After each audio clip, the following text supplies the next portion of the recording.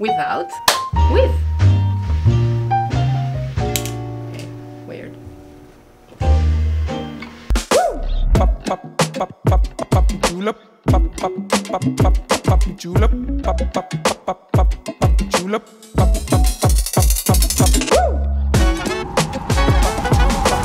Let's make some pop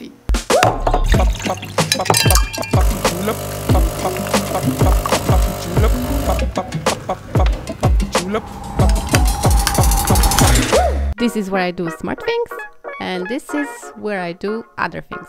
Hey, what did you think?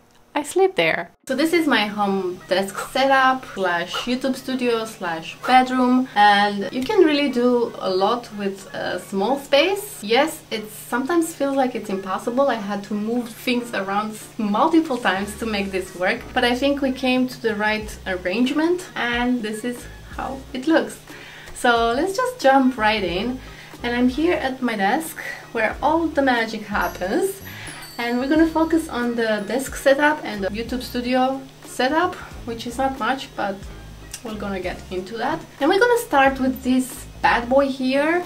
It's an HP Envy. I don't know exactly which one. I will put it on the screen but it's about five years old by now. Worked great still works great but if I'm using it for like heavy duty stuff like editing and I have multiple tabs open it's lagging and it's frustrating and it's making my life so much harder than it should be I bought it when I was learning to do graphic design. It was very powerful. Uh, it runs a Windows 10 Home Edition. There's not much I can say about. It's okay, it works, it's fine. We're not gonna say anything about Windows.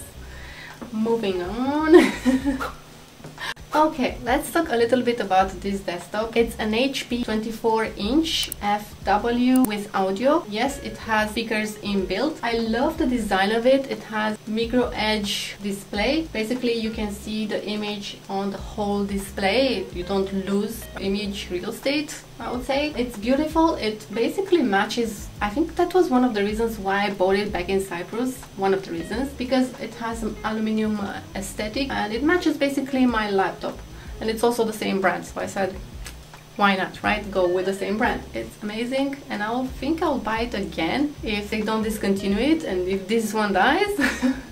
I will definitely buy it again. Now let's move on a little bit on the stand. So the desktop sits on this stand. It's a bamboo stand they say it's bamboo but I highly doubt that this is bamboo. I love it but I also have a little bit of something that I don't like about kind of thing. It's a bit too low and it's also not wide enough. I wish it was wider so I could put other things on top of it because then I would have less clutter on my desk. I love I love the, the color of the wood. It makes the, the, the space so much warmer with the aluminium and the plant and the lights and the white of the desk. It's just beautiful. It's very aesthetic. I bought it from Amazon. I will have links for all or at least most of the things that I'm talking about in the description below. So if you want to check it out, feel free. Next is this keyboard.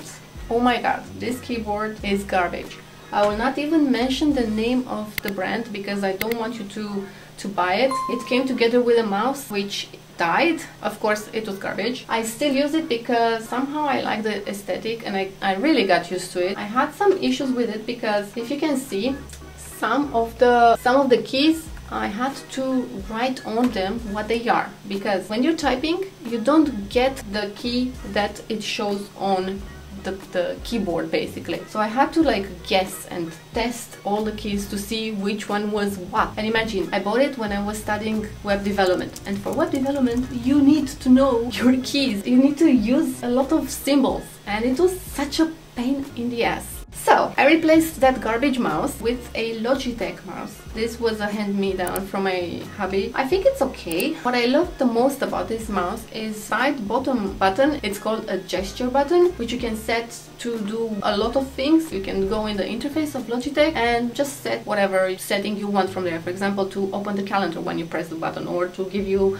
a virtual desktop, which I have it I have it set for that. Yeah, you can switch between pages, tabs, which is pretty handy, which the other mouse didn't do. I think this is okay for now. Uh, I'll be probably replacing this as well in time. It seems like I'm, I need to replace a lot of my gear. Okay, now let's talk a little bit about this little fan here. This little guy here. Saved my ass this summer because as we've all known and felt and experienced this summer has been extremely hot. And in Germany we don't have AC so you can imagine. It gets very freaking hot. And it saved my face from melting on multiple occasions on multiple days. It does a job really well Okay, let's talk lights, shall we? Because I have multiple lights on my desk as well as around me. So I have three lamps, including, no, excluding the studio light. With the studio light, I have four lights around me. I have two lights on my desk. One is a ring light. It's from Kodak. I think this is a great buy. The height is adjustable to 65 centimeters. It also has two settings for the light, warm and cold, as well as they are dimmable. It's great. I also use it when it's cloudy outside or gloomy. I just turn it on and